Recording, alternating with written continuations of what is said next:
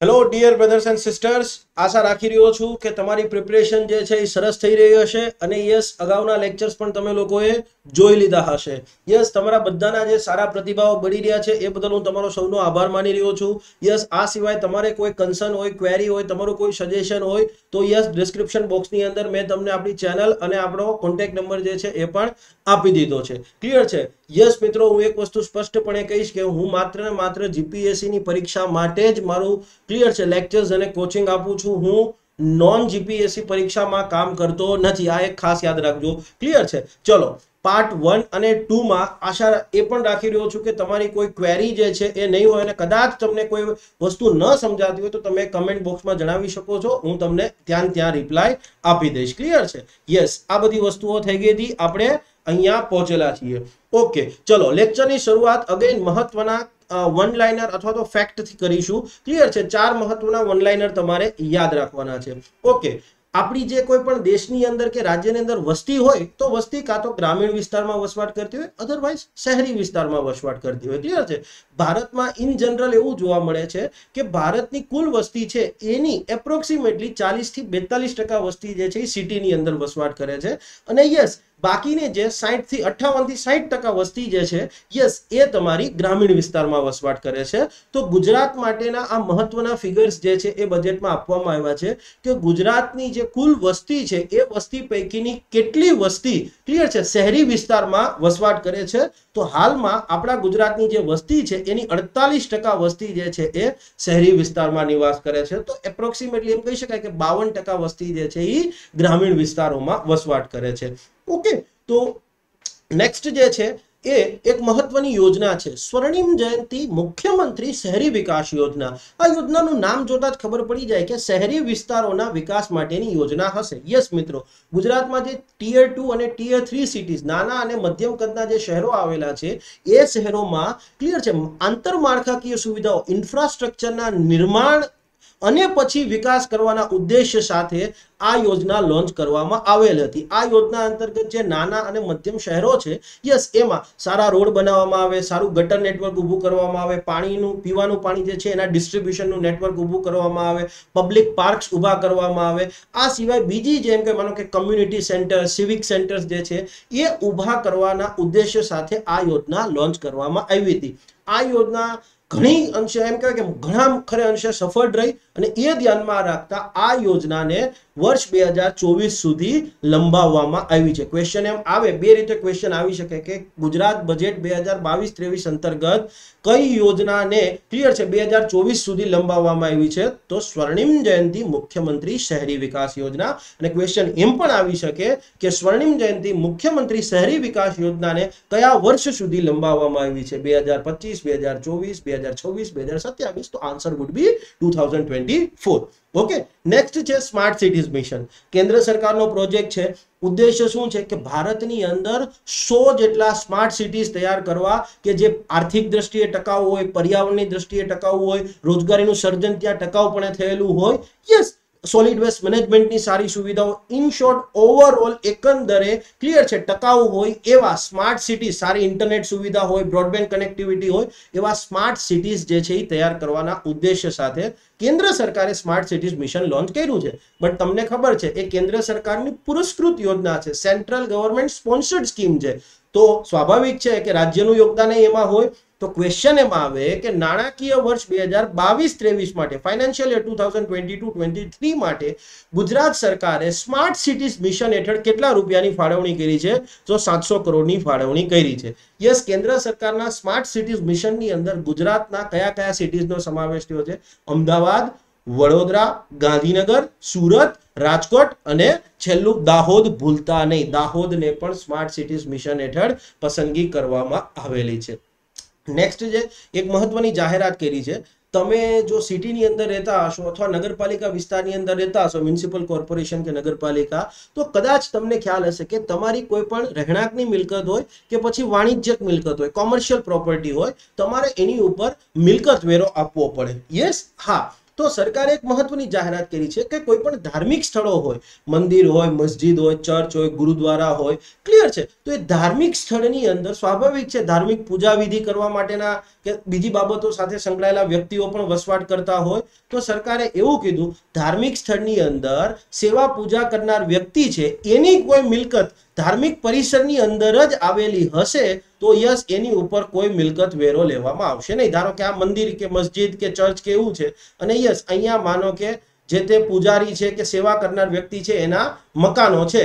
મંદિરનું આ મેઇન પરિસર છે, આખે આખું. આ મંદિરનું તમારું મેઇન પરિસર છે. તો આ બધી મિલકતો પર હવે પ્રોપર્ટી ટેક્સ એમને આપવો પડશે નહીં. ચલો, આ ચાર ફેક્ટ જે છે એને ક્લિયર છે.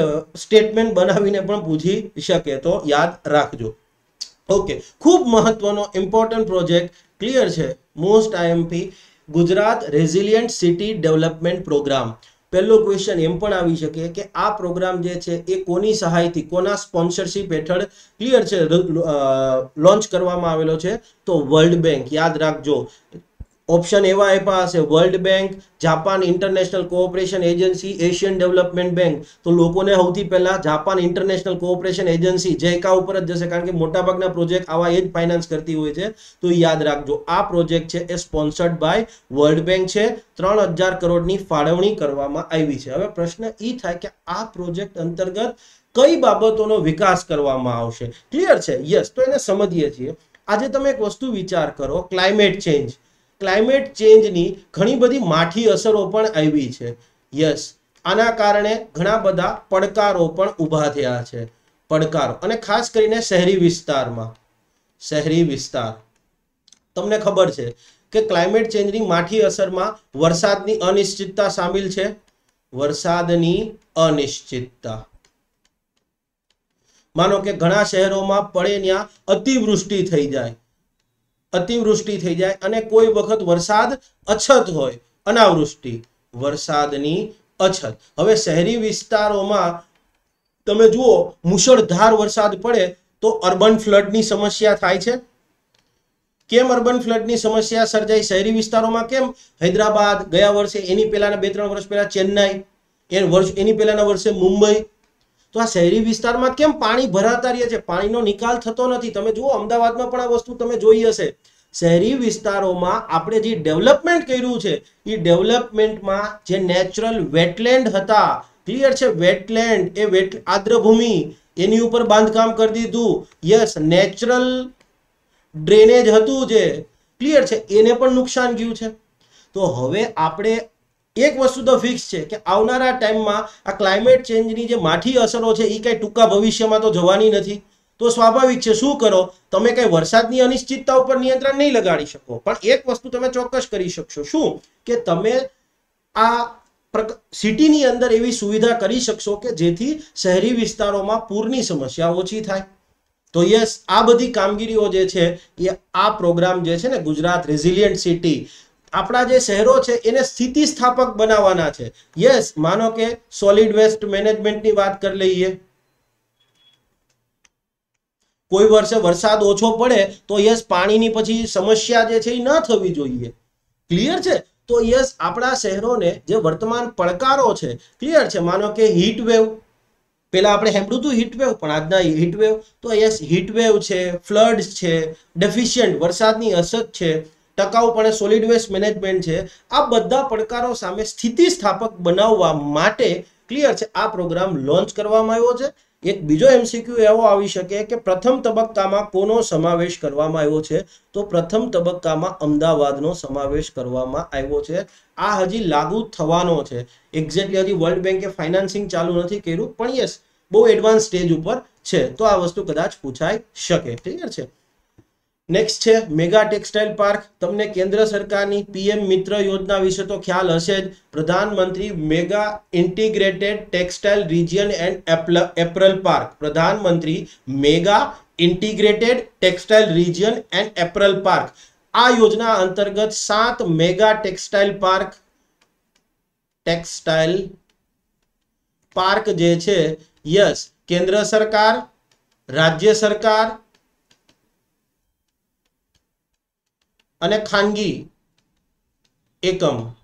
આ ત્રણેયની સંયુક્ત ભાગીદારી હોય એવા સાત મેગા ટેક્સટાઇલ પાર્ક જે છે એ તૈયાર કરવાના છે. યસ, યાદ રાખજો, કેન્દ્ર સરકારની માલિકી હશે, રાજ્ય સરકારની માલિકી હશે અને ખાનગી એકમે હશે. બેઝિકલી કશું નહીં, પરંતુ પીપીપી ધોરણે તમારા દેશની અંદર મેગા ટેક્સટાઇલ પાર્ક જે છે એ કાર્યરત કરવાના છે. યસ, હજી ભારત સરકારે સત્તાવાર રીતે જાહેર નથી કર્યું કે કઈ કઈ સાત જગ્યાએ મેગા ટેક્સટાઇલ પાર્ક બનશે. એમને માત્ર રાજ્યોને એવું કીધું છે કે તમે તમારા રાજ્યમાં મેગા ટેક્સટાઇલ પાર્ક બનાવવા માંગતા હો તો એનું એક પ્રોપોઝલ એનો એક પ્રસ્તાવ કેન્દ્ર સરકારને મોકલી આપો. કેન્દ્ર સરકાર પછી નક્કી કરશે કે કઈ કઈ જગ્યાએ સાત મેગા ટેક્સટાઇલ પાર્ક બનશે. તો ગુજરાત સરકારે અત્યારે એવું આયોજન કર્યું છે, અત્યારે આયોજન કર્યું હજી ફાઇનલ નથી થયું. કે યસ, કેન્દ્ર સરકારને પ્રસ્તાવ મોકલ્યો છે કે ભાઈ અમે ગુજરાતમાં મેગા ટેક્સટાઇલ પાર્ક યોજના જે છે, યસ, એના અંતર્ગત, પીએમ મિત્ર અંતર્ગત નવસારી જિલ્લાના વાંસી બોરસી, નવસારી જિલ્લાના વાંસી બોરસી ખાતે મેગા ટેક્સટાઇલ પાર્ક કાર્યરત કરવા માંગીએ છીએ અને યસ, સરકારે એનું આયોજન કરેલું છે. ક્વેશ્ચન એમ આવે કે ગુજરાતમાં કયા જિલ્લામાં અથવા કયા સ્થળે કેન્દ્ર સરકારની પીએમ મિત્ર યોજના હેઠળ મેગા ટેક્સટાઇલ પાર્ક કાર્યાન્વિત કરવા માટેનું આયોજન કરેલ છે રાજ્ય સરકારે, તો વાંસી, બોરસી ભૂલાય નહીં. ક્લિયર છે? ઓકે ઇન્ટરનેશનલ સિરામિક પાર્ક હવે ગુજરાતમાં સિરામિક નામ આવે એટલે મગજમાં એક જ ખ્યાલ આવે. ક્લિયર છે કે માં મચ્છુના કાંઠે બસેલું આપણું મોરબી સિટી ક્લિયર છે? અને મોરબી સિટી જે છે ક્લિયર છે? મોરબી વિસ્તાર આખો ટૂંકમાં એમ કહો મોરબી જિલ્લો જ કહી દો હવે તો, એ બે વસ્તુ માટે બહુ ફેમસ છે. ક્લિયર છે? એક તો સિરામિક ઉદ્યોગ એનો ટાઇલ્સ બનાવે છે ને એ અને બીજું એની જે ફાર્માસ્યુટિકલ મશીનરી છે ને એના માટે પણ બહુ ફેમસ છે. યસ મિત્રો, મોરબીમાં ખાલી ટાઇલ્સ નહીં હોય ત્યાં ફાર્માસ્યુટિકલ ઇન્ડસ દવા બનાવવાની કંપનીઓની જે મશીનરી છે ને એ તમારી ત્યાં બને છે. એ બી એના માટે એ ફેમસ છે. અજંતાની ઘડિયાળો માટે પણ ફેમસ છે. કદાચ ખ્યાલ હશે. ક્લિયર છે? તો આપણી મોરબીની જે ટેક્સટાઇલ છે સોરી મોરબીની જે ટાઇલ્સ ઉદ્યોગ છે, સિરામિક ઉદ્યોગ છે, એ એની ગુણવત્તા અને અફોર્ડેબિલિટી ઓછા ભાવ પરના કારણે એ આખી દુનિયામાં વિખ્યાત થયો છે. ઓકે, તો હવે સરકારે એક મહત્વની વાત કરી છે કે મોરબી ખાતે ઇન્ટરનેશનલ સિરામિક પાર્ક્સ જે છે એ ઊભો કરવામાં આવશે. ઉદ્દેશ્ય શું છે કે વધુ ને વધુ આપણી ટાઇલ્સ જે છે, આપણી સિરામિક પ્રોડક્ટ્સ છે, એની નિકાસ દુનિયાના બીજા દેશોમાં થાય અને અત્યાધુનિક સુવિધા ધરાવતો ઇન્ટરનેશનલ સિરામિક પાર્ક હશે કે અહીંયા અને માત્ર ને માત્ર ઉત્પાદન નથી કરવાનું, ત્યાં રિસર્ચ એન્ડ ડેવલપમેન્ટ થશે. યસ માનો કે વિક્રમ સારાભાઈએ અમદાવાદની ટેક્સટાઇલ મિલો હતી, એને અટીરા આપી અને જી કામ કર્યું, અટીરાની રચના કરી અને વિક્રમ સારાભાઈએ શું કર્યું, અમદાવાદનો જે ટેક્સટાઇલ ઉદ્યોગ હતો, એનું આધુનિકીકરણ કર્યું રિસર્ચ એન્ડ ડેવલપમેન્ટને પ્રોત્સાહન આપ્યું. યસ તો એ જ કામ આપણે હવે સિરામિક ઉદ્યોગ માટે આ પ્રકારનો આખો ઇન્ટરનેશનલ સિરામિક પાર્ક કાર્યરત કરીશું કે ત્યાં ઉત્પાદન એ થશે લેટેસ્ટ ટેકનોલોજીના ઉપયોગથી ઉત્પાદન થશે અને નિકાસને પ્રોત્સાહન આપવા માટે જે કંઈ પણ કામગીરી કરવી પડશે એ પણ કરવી પડશે. ક્લિયર છે? મિત્રો, તમે જો વન ટુની પ્રિપરેશન કરવા માંગતા હો તો તમારે થોડુંક એક એનાલિસિસ કરી અને આ બધી વસ્તુઓ તૈયાર કરવી પડશે. બાકી તમે ક્લાસ થ્રીની પ્રિપરેશન કરતા હો, પેલી બિન સચિવાલય કે એવી તો સિમ્પલી આટલું યાદ રાખી લો વાસી, બોરસી, મોરબી, સિરામિક પાર્ક, વાત થઈ ગઈ પૂરી. પણ અલ્ટિમેટલી તમારી સક્સેસ માટે વિઝડમ ફંડામેન્ટલ અન્ડરસ્ટેન્ડિંગ જરૂરી છે. ક્લિયર છે? યસ ઇન્ટરનેશનલ સિરામિક પાર્ક ફાયદો શું થશે? બધું તમારે આમ વિચારવાનું છે. ક્લિયર છે? યસ વાજપાઈ બેન્કેબલ યોજના. વાજપાઈ બેન્કેબલ યોજના પહેલમ પહેલું એ કહી છે કયા વિભાગ હેઠળ છે? તો રાજ્ય સરકારનો જે ઇન્ડસ્ટ્રીઝ એન્ડ માઇન્ડ ઉદ્યોગ અને ખાણ વિભાગ છે, એના હેઠળની યોજના છે. આજે તમે બેંકમાં કોઈ કામગીરી માટે, ઉદ્યોગ ધંધા માટે લોન લેવા જાઓ ને, તો ત્યાં તમારે ગેરંટી રૂપે કલેક્ટ્રલ રૂપે, સુરક્ષા રૂપે કંઈક વસ્તુ આપવી પડે. તમારે ઘરના કાગળ મૂકવા પડે બિઝનેસની પ્રોપર્ટી હોય અથવા એના કાગળ મૂકવા પડે. પણ હવે એક વસ્તુ વિચારો ક્લિયર છે, કોઈ વ્યક્તિ, સામાન્ય વ્યક્તિ છે, અને એ માનો કે કંઈક નાનું એવું કામગીરી કરવા માંગે છે એ નાનો એવો કોઈ ઉદ્યોગ શરૂ કરવા માગે છે. લેટ સે ફોર એક્ઝામ્પલ એને પશુપાલન કે લેટ સે ફોર પશુપાલન છોડો. લેટ સે ફોર એક્ઝામ્પલ એને મેટલ ધાતુને લગતો કંઈક ઉદ્યોગ શરૂ કરવો છે. અથવા તો ચલો, લુહારી કામ કે એવો કોઈ મિસ્ત્રી કામ કે એવું કંઈક કરવું છે. તો એના માટે ધિરાણ જોઈશે. હા, ધિરાણ જોઈશે. હવે ગેરંટી આપશે તો હું આપે ગેરંટી એની આગળ કાંઈ હશે નાના વ્યક્તિ આગળ? અથવા તો હશે એ વસ્તુ બેંકમાંથી લોન લેવા માટે પૂરતી નહીં હોય, તો શું કીધું છે? કુટીર ઉદ્યોગ જે છે, આ ખાસ યાદ રાખજો. હવે, કુટીર ઉદ્યોગના જે કારીગરો છે, રાજ્યમાં કુટીર ઉદ્યોગના જે કારીગરો છે, એમને માનો કે રાષ્ટ્રીયકૃત બેંકો નેશનલાઇઝ બેંકો છે, સહકારી બેંકો, કોઓપરેટિવ બેંકો છે, જાહેર ક્ષેત્રની બેંકો છે, ખાનગી બેંકો છે, એમાં કાંઈ લોન લેવા જાય તો એના માટે જે ગેરંટી આપવાની થશે, એ ગેરંટી યસ ગુજરાત રાજ્ય સરકાર વાજપાઈ બેંકેબલ યોજના હેઠળ આપશે. આ યોજના અંતર્ગત રાજ્ય સરકાર એક લિમિટ સુધીની ગેરંટી આપશે. કોઈ વ્યક્તિને બેંકમાંથી ધિરાણ જોતું હશે, તો સરકાર કહેશે કાંઈ વાંધો નહીં, એને ધિરાણ આપી દો એની ધિરાણની ગેરંટી અમે આપીશું. ઉદ્દેશ્ય શું છે? તો કે શહેરી અને ગ્રામ્ય વિસ્તારમાં જે બેરોજગાર વ્યક્તિઓ છે, એમને સ્વરોજગારી પૂરી પાડવા કે ભાઈ એ લોકો કામ કરતા થાય. કે જેથી જીપીએસસી અને બિન સચિવાલય પીએસઆઈ એમાં કે લોડ થોડો ઓછો થાય. અને અપંગ અને અંધ વ્યક્તિઓ જે છે, એ પણ આ યોજનાનો લાભ લઈ શકે છે. આ યોજનાના સંદર્ભમાં ઘણા બધા ક્રાઇટેરિયા છે કે વ્યક્તિ ઓછામાં ઓછો ધોરણ ચાર પાસ થયેલો હોવો જોઈએ. માનો કે ભણેલો ના હોય, તો યસ, એને કોઈ પણ કામની જે છે, એ તાલીમ લીધેલી હોવી જોઈએ. ખાનગી સંસ્થા હોય તો ત્રણ મહિનાની તાલીમ છે, સરકારી સંસ્થા હોય તો એક મહિનાની તાલીમ છે. પણ આ બધી વસ્તુઓ તમારે યાદ રાખવાની નથી. તમે એટલું યાદ રાખો, ઉદ્યોગ અને ખાણ વિભાગ હેઠળ છે. કુટીર ઉદ્યોગ જે છે, એના કારીગરોને ક્લિયર છે, બેંકમાંથી લોન લેવી હોય તો ગેરંટી જે છે, એ આ યોજના હેઠળ સરકાર આપશે. અને મેઇન ઉદ્દેશ્ય સ્વરોજગારીને પ્રોત્સાહન આપવાનો છે. ક્લિયર છે? Gujarat green mega innovative industrial project કેન્દ્ર સરકારની બે યોજના જે છે, જે હાઇલાઇટ કરી છે, એના વિશે તમે જાણતા જ હશો. કે નેશનલ હાઇડ્રોજન મિશન અને પીએલઆઈ યોજના. હાઇડ્રોજન મિશન હાઇડ્રોજન ઇકોનોમીને પ્રોત્સાહન આપવાનો છે કે પરિવહન કે અન્ય ઉદ્યોગોમાં હાઇડ્રોજનના વપરાશને વધારવાની મેઇનલી વાત કરવામાં આવી છે. અને એના માટે કેન્દ્ર સરકારે આ મિશન લોન્ચ કર્યું છે. પીએલઆઈ યોજના. તો કે ભાઈ આજે અને ભવિષ્યમાં જેની જરૂરિયાત પડવાની છે, એવી ચીજવસ્તુઓનું ઉત્પાદન ભારતમાં થાય. માનો કે મોબાઈલ છે, ઇલેક્ટ્રોનિક્સ ઉપકરણો છે, ડ્રોન છે ઓટોમોબિલ કમ્પોનન્ટ છે, ટેકનિકલ ટેક્સટાઇલ છે advance chemistry cell EV electric વ્હીકલમાં જે બેટરી વપરાય, એ બેટરી છે. તો આ બધાનું ઉત્પાદન ભારતમાં થાય એના હેઠળ એ માટે સરકારે પીએલઆઈ યોજના લોન્ચ કરી છે. અને આ બંને યોજના અંતર્ગત ઉત્પાદનને પ્રોત્સાહન આપવા માટે કેન્દ્ર સરકાર જે તે સહાય આપે છે. Okay.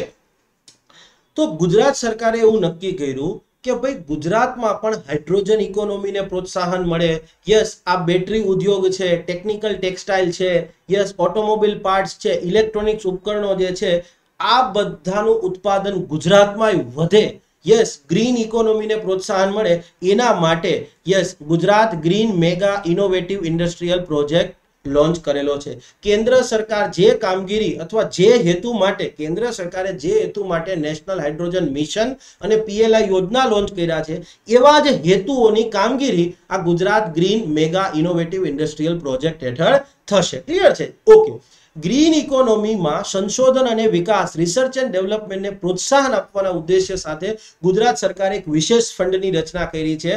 Yes green innovation fund અને એમાં પચાસ કરોડ રૂપિયાની ફાળવણી પણ કરી છે કે ક્લીન ટેકનોલોજી છે. એના માટે જે કંઈ પણ સંશોધન અને વિકાસ, જે કંઈ પણ રિસર્ચ એન્ડ ડેવલપમેન્ટ થવું જોઈએ, એને ફંડિંગ આપવામાં આવશે.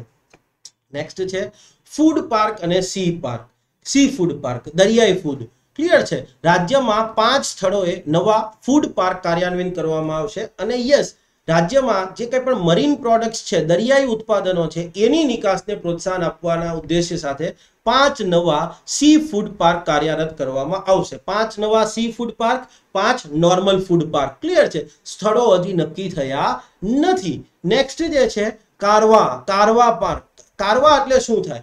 તો વર્ષો પહેલા તમને ખબર છે કારવા શબ્દ જે છે એ ભારતના ઇતિહાસ સાથે સંકળાયેલો શબ્દ છે અને પછી એને ઇંગ્લિશની કેમ્બ્રિજ ડિક્શનરીઓમાં સ્થાન મળ્યું છે. કારવા, તમે કદાચ સાંભળ્યું હશે, કારવા આતે ગયે ઓર હિન્દુસ્તાન બનતા ગયા. એનસીઆરટીમાં ક્યાંક લખેલું હશે આવું. ઓકે.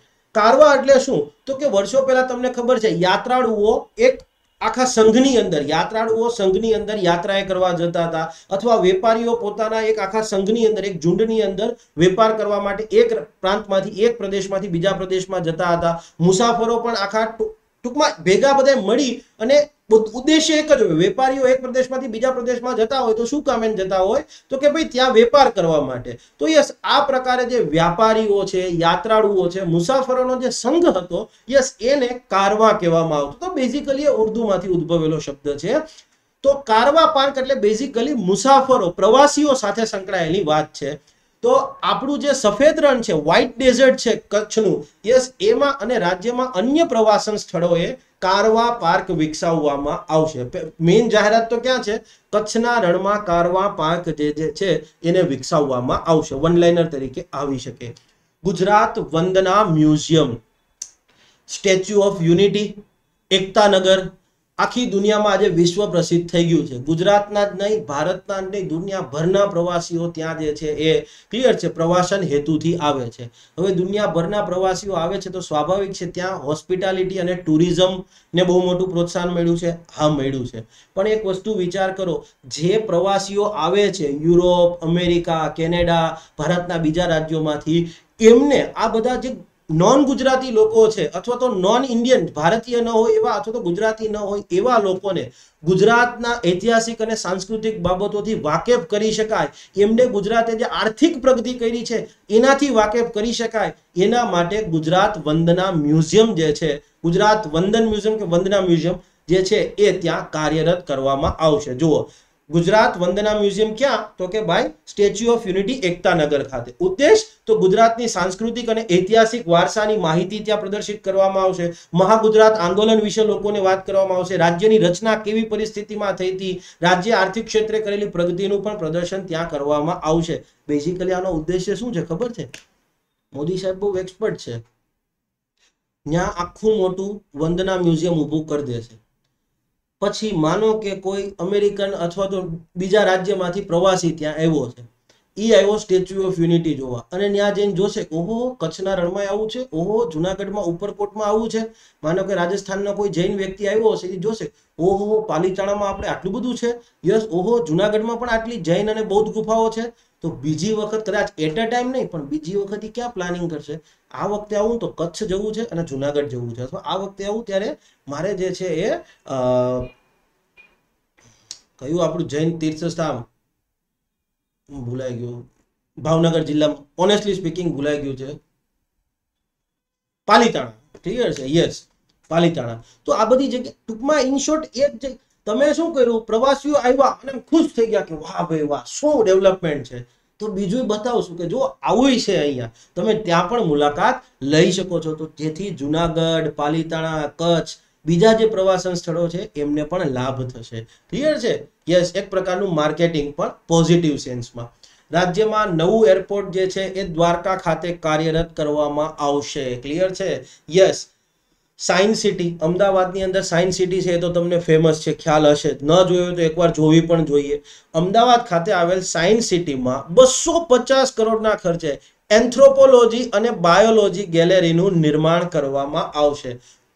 વન લાઇનર તરીકે પૂછાઈ શકે કે કયા વિષય અનુસંધાનમાં વિશેષ ગેલેરીનું નિર્માણ કરવામાં આવશે? Anthropology and biology security operation centre project okay let say for example ઉદાહરણ તરીકે તમને ખબર છે કે ગુજરાત સરકારની મહેસૂલી બાબતોની અંદર એક એપ્લિકેશન છે ઇન્ટિગ્રેટેડ ઓનલાઈન રેવન્યુ એપ્લિકેશન આના વિશે તમે સાંભળ્યું હશે. માનો કે તમે ભરતી માટેના કોઈ પણ ફોર્મ ભરો છો, તો ઓજસ છે online job application system yes OJAS છે આઈઓઆરએ છે. માનો કે લેટ સે ફોર એક્ઝામ્પલ આ સિવાય, તો કે ગુજરાત સરકારની, માનો કે, લો, ગુજરાત પોલીસની, ગુજરાત પોલીસ છે, એની પણ વેબસાઇટ હશે. હા, હશે. તો આ બધી શું થયું? પબ્લિક ઇન્ફ્રાસ્ટ્રક્ચર કહેવાય? જાહેર આઈટી ઇન્ફ્રાસ્ટ્રક્ચર કહી શકાય? હા, કારણ કે આપણું માલિક કોઈનું પ્રાઇવેટ નથી, એ સરકારી માલિકીનું ઇન્ફ્રાસ્ટ્રક્ચર છે. તો માનો કે કાલ સવારે આ IORA integrated online revenue application ઉપર કોઈએ સાયબર હુમલો કર્યો હતો અથવા ઓજસ ઉપર સાયબર હુમલો થયો હતો, તો કેટલા ઓજસ ઉપર પેમેન્ટ કરો છો? તો વિદ્યાર્થીઓના પેમેન્ટનો ડેટા જતો રહ્યો. માનો કે ગુજરાત પોલીસની વેબસાઇટ કોઈએ હેક કરી લીધી, તો તો રાજ્યમાં જે આવા જાહેર આઈટી ઇન્ફ્રાસ્ટ્રક્ચર છે, યસ, એની સામે સાયબર સુરક્ષા સંબંધિત જે પડકારો છે, એને વાસ્તવિક સમયમાં સલામતી પ્રદાન કરી શકાય રિયલ ટાઈમ સિક્યોર કરી શકાય સિક્યુરિટી આપી શકાય, એ હેતુથી રાજ્યમાં સિક્યુરિટી ઓપરેશન સેન્ટર પ્રોજેક્ટ લાગુ કરવામાં આવશે. સિક્યુરિટી ઓપરેશન સેન્ટર પ્રોજેક્ટ શું છે? તો આપણા જે પબ્લિક આઈટી ઇન્ફ્રાસ્ટ્રક્ચર છે, જાહેર આઈટી ઇન્ફોર્મેશન ટેકનોલોજીની સુવિધાઓ છે, એને સાયબર સુરક્ષાના જે સંભવિત હુમલાઓ છે, એની સામે રક્ષણ આપવા માટેનું આખો સેન્ટર જે, આખો પ્રોજેક્ટ જે છે એ ઊભો કરવામાં આવ્યો છે. મિશન ઇલેક્ટ્રોનિક્સ આજે આપણી દસમાંથી સાત, છ, સાત તો, છ, સાત તો મિનિમમ આ ઇલેક્ટ્રોનિક્સ આઇટમ હશે, એ મેડ ઇન ચાઇના હશે. અથવા તો દેશની બહાર બની હશે. ભારતની અંદર નહીં બની હોય. ક્લિયર છે? અને દર વર્ષે આપણે હજારો, લાખો, અબજો ડોલર જે છે, અબજો ડોલર જે છે, યસ, એનું વિદેશી ઊંડિયામણ જે તે દેશને આપી દે છે. કેમ? કે ઇલેક્ટ્રોનિક્સ આઇટમ બધી બહારથી મંગાવીએ છીએ. માનો કે મારો મોબાઈલ મારું કીબોર્ડ મારું લેપટોપ મારું પેન ટેપ માઉસ આ રૂમમાં રહેલી લગભગ બધી વસ્તુ એક્સેપ્ટ આ પંખો અને આ એલઈડી ટ્યુબલાઇટ બાકી બધે બધી વસ્તુ છે એ ચાઇનાથી આવી છે. ક્લિયર છે? બધા મેડ ઇન ચાઇના છે ઓનેસ્ટલી સ્પીકિંગ તો કહેવાનો ઉદ્દેશ્ય શું છે? ક્લિયર છે કે રાજ્યમાં, ગુજરાત રાજ્યમાં ઇલેક્ટ્રોનિક્સ ઉપકરણોની ડિઝાઇન અને એનું ઉત્પાદનને પ્રોત્સાહન મળે. ગુજરાત રાજ્યમાં ઇલેક્ટ્રોનિક્સ ઉપકરણોના ઉત્પાદન યસ એની ડિઝાઇનિંગ રિસર્ચ ડિઝાઇનિંગ અને એના ઉત્પાદનને પ્રોત્સાહન મળે. એ માટે સરકાર નવું મિશન લોન્ચ કરવા જઈ રહી છે ઇલેક્ટ્રોનિક્સ મિશન ક્લિયર છે ને? આ મિશન આયોજન કરી રહી છે. પ્લાનિંગ કર્યું છે કે ભાઈ આપણે પણ રાજ્યમાં ઇલેક્ટ્રોનિક્સ ઉપકરણોના ઉત્પાદનને પ્રોત્સાહન આપીશું. ક્લિયર છે?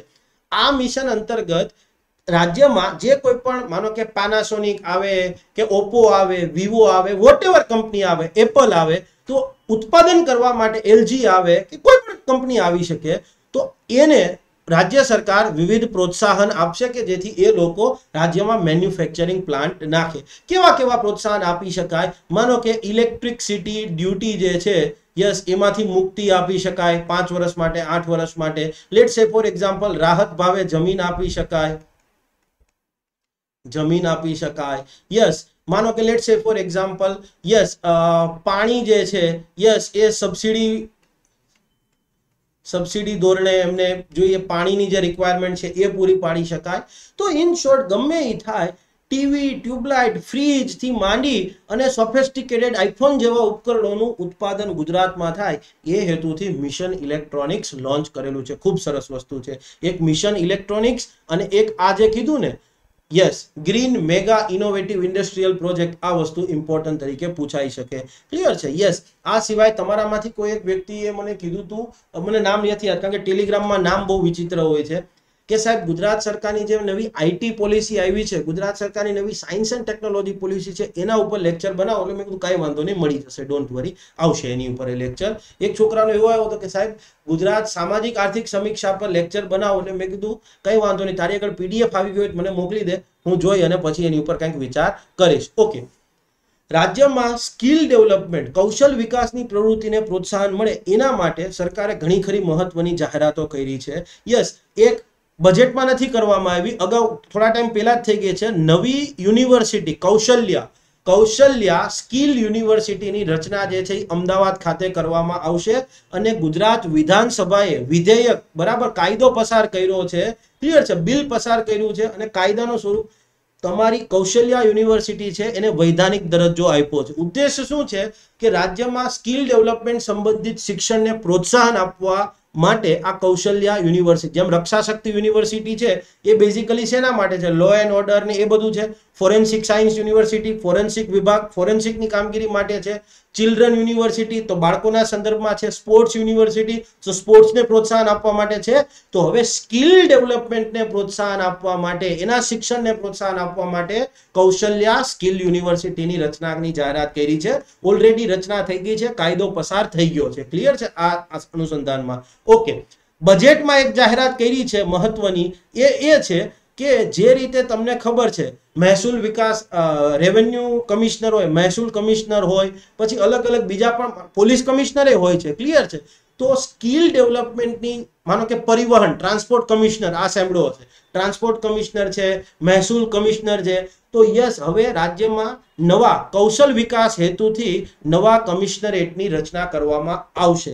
ક્વેશ્ચન એ રીતે પૂછાઈ શકે કે રાજ્ય સરકારે કયા ક્ષેત્રમાં નવા કમિશનરેટની રચનાની જોગવાઈ બજેટમાં કરી છે? તો યસ, યાદ રાખજો, કૌશલ વિકાસ હેતુથી જે ઇન્સ્ટિટ્યુશનલ લઉં સંસ્થાકીય માળખું જે છે એ પૂરું કરવા પાડવા માટે નવા કમિશનરેટની રચના કરી છે. આ સિવાય બાકી તો તમને બધો ખ્યાલ છે કે ગુજરાત કૌશલ વિકાસ મિશને સરકારે લોન્ચ કર્યું છે. મુખ્યમંત્રી એપ્રેન્ટાઇશિપ યોજના કરી છે. ડ્રોન સ્કિલ ઇન્સ્ટિટ્યૂટ, યસ, આ બજેટમાં કરવામાં આવેલી જાહેરાત છે. રાજ્યમાં, ક્લિયર, આજે તમે સમજો, ડ્રોનનો ઉપયોગ વધતો રહ્યો છે. માનો કે પેલા સ્ટુડિયોવાળા હોય છે, એ લોકો ડ્રોનનો ઉપયોગ કરે છે.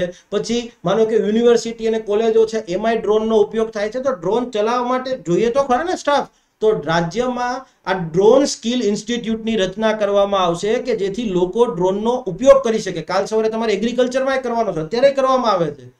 માનો કે કૃષિ વિમાન સંબંધિતની બાબતો છે તેમાં ડ્રોનનો ઉપયોગ કરવામાં આવે છે.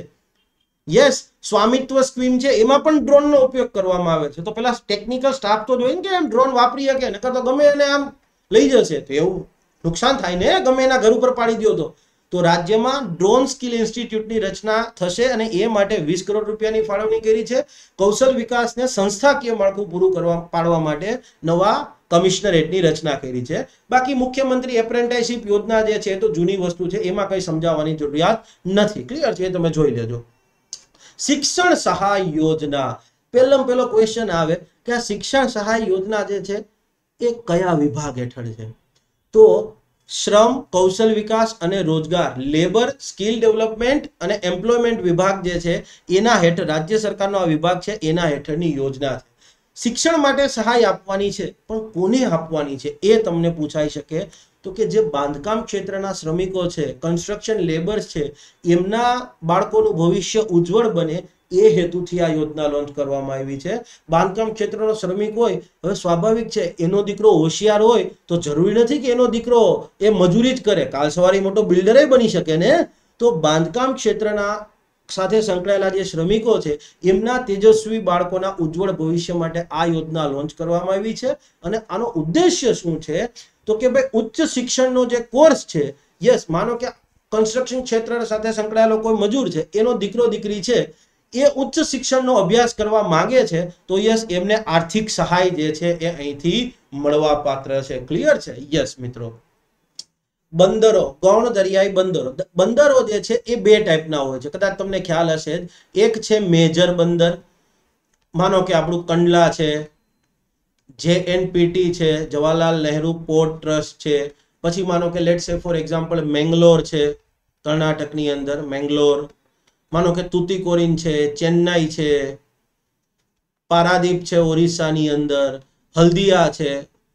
આવા ટોટલ એમ કહી શકીએ, આપણા વિશાખાપટ્ટનમ છે, દેશની અંદર આઈ થિંક તેર મેજર પોર્ટ છે. ક્લિયર છે? યસ તો એના સિવાયના જે બંદરો છે યસ એના માટે શબ્દ પ્રયોગ કરવામાં આવે છે માઇનોર મુખ્ય અને યસ આ છે માઇનોર માઇનોર પોર્ટની અંદર કયા કયા આવે? તો માનો કે ગુજરાતની અંદર વેરાવળ છે, વેરાવળ, ઓખા, આ બધા માઇનોર પોર્ટની અંદર આવે. પોરબંદર, સૂત્રાપાડા ક્લિયર છે? માનો કે પીપા વાવ આ બધા વાવ, આ બધા જાફરાબાદ, આ બધા શું છે? તો કે માઇનોર પોર્ટની અંદર આવે.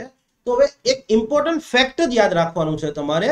ઇમ્પોર્ટન્ટ ફેક્ટ એ યાદ રાખવાનું છે કે ભાઈ ગુજરાત આખા ભારતની અંદર જે કાર્ગો હેન્ડલિંગ થાય છે, આખા ભારતની અંદર માઇનોર પોર્ટના માધ્યમથી ક્લિયર છે? ગૌણ દરિયાઈ બંદરો પર જે કાર્ગો હેન્ડલિંગ થાય છે, એનો સડસઠ ટકા હિસ્સો ગુજરાતમાં આવેલા ગૌણ દરિયાઈ બંદરો પર હેન્ડલ થાય છે. ઇન શોર્ટ મેજર પોર્ટને બાદ કરી દો કંડલા જેએનપીટી હલ્દિયા, બરાબર છે? આ બધાને બાદ કરી દો એ સિવાયના જે આખા દેશની અંદર જે ગૌણ દરિયાઈ બંદરો આવે છે માઇનોર પોર્ટ જે આવેલા છે, એની ઉપર જે ઇમ્પોર્ટ એક્સપોર્ટ ને કાર્ગો હેન્ડલિંગ થાય છે ઇમ્પોર્ટ એક્સપોર્ટના માધ્યમથી ક્લિયર છે? એનું જે ટોટલ કાર્ગો હેન્ડલિંગ છે, એનું સડસઠ ટકા હિસ્સો જે છે ગુજરાતના બંદરો કરે છે. બાકીના તેત્રીસ ટકામાં બાકી આખા દેશના જેટલા બી ગૌણ બંદરો છે અલગ અલગ રાજ્યોના, અને યસ ખાલી એક વસ્તુ યાદ રાખજો માઇનોર પોર્ટ હોય ને, એ રાજ્ય સરકાર હેઠળ હોય. માઇનર પોર્ટ જે છે એ રાજ્ય સરકાર હેઠળ હોય અને મેજર પોર્ટ જે છે એ કેન્દ્ર સરકાર હેઠળ હોય. ક્લિયર છે? આ વસ્તુ યાદ રાખજો. ક્લિયર છે? ઓકે માળખાકીય શું? તમે રિંગ રોડનું નામ સાંભળ્યું હશે. રાજકોટમાં રિંગ રોડ છે, અમદાવાદની અંદર રિંગ રોડ છે સુરતમાં બી આઈ થિંક હશે, મને ખ્યાલ નથી. ઓકે તો હવે ભાવનગરમાં પણ રિંગ રોડ વિકસાવવાના ઉદ્દેશ્ય સાથે બસો સત્તાણું કરોડની ફાળવણી કરી છે. ક્વેશ્ચન એમ આવે કે કે ગુજરાત બજેટ બે હજાર બાવીસ ત્રેવીસમાં રાજ્યના કયા શહેરમાં રિંગ રોડ વિકસાવવા માટે વાત કરવામાં આવી છે અથવા જાહેરાત કરવામાં આવી છે? તો ભાવનગર સિટીઝની અંદર રિંગ રોડ વિકસાવવા માટેની ફાળવણી કરી છે. આ સિવાય પ્રધાનમંત્રી ગતિ શક્તિ યોજના પ્રધાનમંત્રી ગતિ શક્તિ યોજનાનો ઉદ્દેશ્ય તમને બધાને ખબર જ છે. ઇન્ફ્રાસ્ટ્રક્ચર ડેવલપમેન્ટ માટેનું જે પ્લાનિંગ છે, એમાં એક સૂત્રતા જળવાય. એમાં એક પ્રકારનો બરાબર કોઓર્ડિનેશન સહકાર પ્રસ્થાપિત થાય. આયોજનની અંદર સહકાર મળે હેતુથી આખું જે પ્રધાનમંત્રી ગતિશક્તિ માસ્ટર પ્લાન જે છે એ તૈયાર કરવામાં આવ્યો છે. તો ગુજરાતમાં પ્રધાનમંત્રી ગતિશક્તિ પ્લાન હેઠળ જે કોઈ પણ કામગીરી કરવાની છે, એના માટે એક વિશેષ સંસ્થાની રચના કરવામાં આવી છે. ક્વેશ્ચન એમ આવે કે ગુજરાતમાં પ્રધાનમંત્રી ગતિશક્તિ યોજના હેઠળ કામગીરી માટે કઈ વિશેષ સંસ્થાની રચના કરવામાં આવી છે? તો નામ છે Gujarat port and logistic company. Gujarat port and logistic company જે છે, કોના હેઠળ કામ કરશે? તો ગુજરાત મેરીટાઈમ બોર્ડ હેઠળ કાર્યાન્વિત કરવામાં આવી છે. Most important one liner clear છે? Yes. Gujarat port and logistic company Gujarat maritime board હેઠળ એની રચના થઈ છે. ઉદ્દેશ્ય શું છે? તો કે પીએમ ગતિ શક્તિ હેઠળ રાજ્યમાં જે કોઈ પણ કામગીરી કરવાની છે, એ કામગીરી થાય. ક્લિયર છે? નેક્સ્ટ જે છે ડેટા એક ડેટા ઇમ્પોર્ટન્ટ આપ્યો છે કે પર વ્યક્તિ, પ્રતિ વ્યક્તિ દીઠ કેટલો પાવર વપરાશ થાય છે? ક્લિયર છે? તો ભારતની અંદર એક વ્યક્તિ સરેરાશ ક્લિયર છે? વર્ષની અંદર અગિયારસો એક્યાસી યુનિટ પાવરનો વપરાશ કરે છે. ગુજરાતમાં પ્રતિ વ્યક્તિ દીઠ એકવીસો તેતાલીસ યુનિટ જે છે એનો પાવર વપરાશ થાય છે વન લાઇનર તરીકે પૂછાઈ શકે. કિસાન હિત ઊર્જા શક્તિ યોજના. કિસાન હિત ઊર્જા શક્તિ યોજના જે છે એનો ઉદ્દેશ્ય શું છે? ક્લિયર છે? યસ તો ખેતરની અંદર તમને ખબર હોય તો પાવર કનેક્શન લેવાનું થાય, તો ખેતરની અંદર ટ્રાન્સફોર્મર આવે. ક્લિયર છે? તમે ખેતરની અંદર વીજળીનું કનેક્શન લ્યો છો, તો આપણા ઘરે જેવું વીજળી કનેક્શન હોય એવું ના હોય. ક્લિયર છે? ત્યાં તમારે એક પ્રકારનું સબસ્ટેશન લેવું પડે અને પછી તમે ત્યાં બધું મોટર બોટર ને બધું ચલાવી શકો. તો રાજ્યના જે ખેડૂતો છે, એમને ખેતરમાં નીચી ક્ષમતાવાળા low capacity low capacity distribution transformer જે છે એ ઇન્સ્ટોલ કરી આપવામાં આવે છે. ક્વેશ્ચન એમ આવે કે કિસાન હિત ઊર્જા શક્તિ યોજનાનો ઉદ્દેશ્ય શું છે?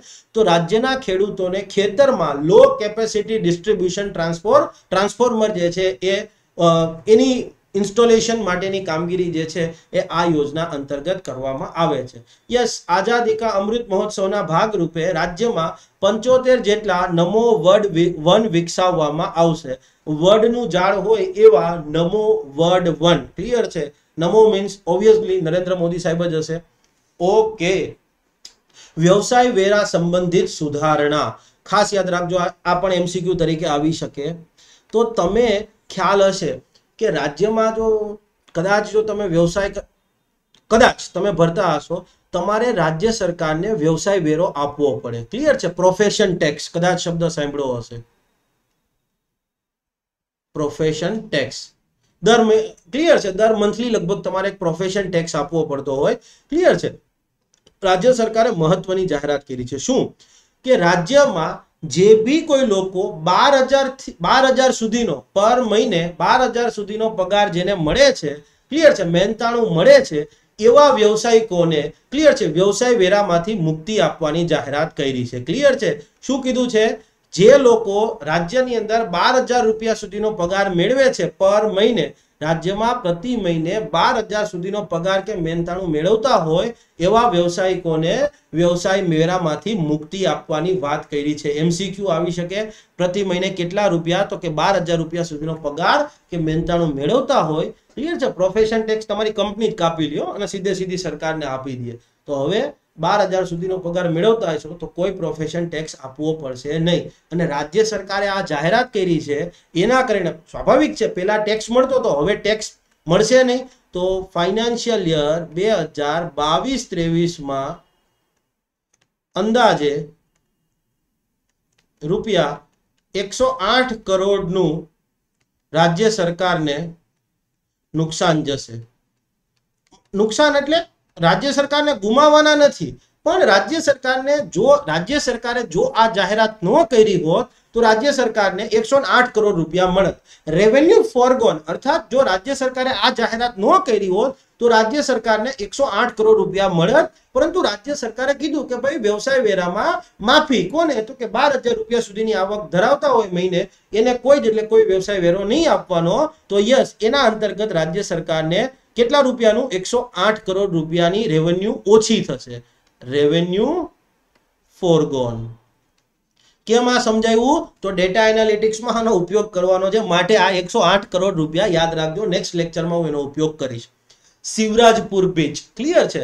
યસ આપણે એમ કહીએ, ગુજરાત માટે ગર્વની વાત કહી શકાય કે આપણો શિવરાજપુર બીચ જે છે યસ એને બ્લુ ફ્લેગ સર્ટિફિકેટ આપવામાં આવ્યું છે. તમે કમેન્ટ બોક્સમાં મને જણાવજો કે બ્લુ ફ્લેગ સર્ટિફિકેટ જે છે, એ કોના દ્વારા આપવામાં આવે છે? યસ એ સંસ્થા કયા દેશની છે? પહેલો ક્વેશ્ચન તમારા માટે છે બ્લુ ફ્લેગ સર્ટિફિકેટ કોના દ્વારા આપવામાં આવે છે અને સંસ્થા કયા દેશની છે? બીજો ક્વેશ્ચન બ્લુ ફ્લેગ સર્ટિફિકેટ જે છે, એની શરૂઆત કયા દેશે કરેલી હતી? બ્લુ ફ્લેગ સર્ટિફિકેટ જે છે એની શરૂઆત કયા દેશે કરેલી હતી એ કહેવાનું છે. હું બ્લુ ફ્લેગ સર્ટિફિકેટ ઉપર તમને સ્પેશિયલ લેક્ચર્સ જે છે એ કરંટ અફેર્સમાં એના વિશે વાત કરીશ કે કોને કોને બ્લુ ફ્લેગ સર્ટિફિકેટ મળે તમારી જાણ ખાતર. ખાલી બીચને જ ન મળે હો. બ્લુ ફ્લેગ સર્ટિફિકેટ જે છે એ શીપને પણ મળે. તમે દરિયાઈ સ્ટીમર હોય ને, એને પણ બ્લુ ફ્લેગ સર્ટિફિકેટ મળે તમારી જાણ ખાતર. હે? હે નહીં? હા ક્લિયર છે? યસ દુનિયામાં સૌથી વધારે બ્લુ ફ્લેગ બ્રિજ ક્યાં આવ્યા છે? આવી બધી વસ્તુઓની પણ આપણે વાત કરીશું, પણ એ કરંટ અફેર્સમાં વાત કરીશું. તમને ખ્યાલ હોય તો તમે કમેન્ટ બોક્સમાં કરી શકો છો. બે ક્વેશ્ચન છે. કયા દેશે બ્લુ ફ્લેગ સર્ટિફિકેટની શરૂઆત કરી હતી? બીજું બ્લુ ફ્લેગ સર્ટિફિકેટ કોના દ્વારા આપવામાં આવે છે ને કયા દેશની સંસ્થા છે? ઓકે. તો રાજ્યમાં આપણે શિવરાજપુર બીચ છે, એને તો બ્લુ ફ્લેગ સર્ટિફિકેટ મળી ગયું છે. અને યસ એના આખા સ્ટાન્ડર્ડ્સ જે છે, એ નક્કી હોય. તો રાજ્યમાં બીજા જે બીચ આવેલા છે, સીશોર છે, દરિયા કિનારાઓ છે, એને પણ બ્લુ ફ્લેગ સર્ટિફિકેટના ધોરણો પર વિકસાવવામાં આવશે. કયા કયા? આ વસ્તુ જે છે એ એમસીક્યુ તરીકે આવી શકે. One and two two and three એ રીતે પણ આવી શકે. તો વલસાડમાં જે આવેલું તિથલ છે, કચ્છમાં આવેલ માંડવી, પોરબંદરમાં આવેલ માધવપુર અને ગીર સોમનાથમાં આવેલ અહમદપુર માંડવી જે છે ક્લિયર છે? જિલ્લાઓ પણ પૂછી શકે, વલસાડ, કચ્છ, પોરબંદર, ગીર સોમનાથ અને સ્થળ પણ પૂછી શકે. તો કે ભાઈ અહેમદપુર, માંડવી, માધવપુર, માંડવી અને વલસાડનો તિથલ. ક્લિયર છે? યસ શક્તિ દૂત યોજના. રાજ્યનો જે રમત ગમત યુવા અને સાંસ્કૃતિક બાબતોનો વિભાગ છે, આ વિભાગ હેઠળની યોજના છે. અને એનાથી એ ડિટેલમાં જાઓ તો આ વિભાગ હેઠળની જે સ્પોર્ટ ઓથોરિટી ઓફ ગુજરાત છે SAG sport authority of Gujarat, clear છે? એના દ્વારા આ યોજના લોન્ચ કરવામાં આવી છે. એનો ઉદ્દેશ્ય શું છે? તો કે ભાઈ આપણા જે રમતવીરો છે, યસ, અને ખાસ કરીને એવા રમતવીરો કે જેમાં જેમનામાં એક ક્ષમતા હોય કે ભાઈ આંતરરાષ્ટ્રીય કક્ષાએ અથવા રાષ્ટ્રીય કક્ષાએ મેડલ લાવી શકશે રાજ્યનું અને દેશનું નામ રોશન કરી શકે એવા જે રમતવીરો છે ક્લિયર છે યસ યુવાન અને યુવતીઓ છે, એમને આ યોજના હેઠળ સહાય આપવામાં આવે છે. આ યોજના હેઠળ માત્ર ને માત્ર એમને નાણાકીય સહાય નથી આપવામાં આવતી. એમને પોષણ ન્યુટ્રિશનની સહાય આપવામાં આવે છે. કે એથ્લેટ માટે ન્યુટ્રિશન પણ ખૂબ મહત્વની વસ્તુ છે. એમને માનો કે રમતગમતના અત્યાધુનિક સાધનો જોઈ કોચિંગ જોઈએ ટ્રેનિંગ જોઈએ, વિદેશમાં એને સ્પર્ધામાં ભાગ લેવો હોય તો ટિકિટ બિકિટ યસ અને અન્ય સુવિધાઓ માટે ક્લિયર છે, સહાય આપવામાં આવે છે. હવે પ્રશ્ન એ થાય, કઈ કઈ રમત રમતા હોય, કઈ કઈ ગેમ રમતા હોય તો એ યુવાન યુવતીઓને શક્તિદૂત યોજનાનો લાભ મળે.